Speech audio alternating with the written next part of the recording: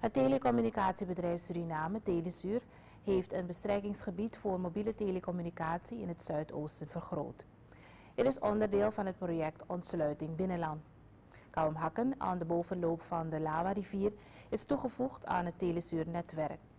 Begin augustus van dit jaar is daar een getuide 100 meter mast, een mast die wordt vastgehouden met tuidraden, in bedrijf gesteld. Mobiel bellen van en naar Kamhakken en ook de ontvangst van digitale televisiekanalen ATV en STVS is nu daar mogelijk.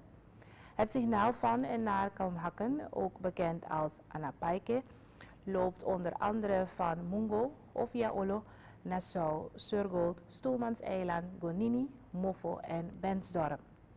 Met Kalmhakken dekt het telesuurnetwerk ook Maripasula, Kamalasemutu, Kamalasula en Grangsula in de omgeving. Kalmhakken staat in een rechte lijn op 300 kilometer afstand van Paramaribo en telt ongeveer 1000 inwoners. De omliggende dorpen meegenomen is het inwonertal 2000. Met de telesuurmast op Kamhakken is mobiel telefoonverkeer ook mogelijk met Kumakapan, Noyekampu en Bergistong. Aan de Franse kant zijn plaatsen als Twanke, Talouin, Babungolo, Elahe en Kayode ook bereikbaar. Telesuur hanteert bij het opzetten van telecominfrastructuur gestandaardiseerde veiligheidsnormen voor mens en natuur.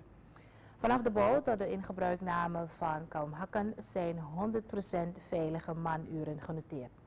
Telesuur werkt nu aan de tussenstations de Silla en Apetina die eind oktober in bedrijf moeten zijn. De voorbereidingen om nog dit jaar Palimeu en Tipu met telecommunicatie te ontsluiten zijn in volle gang.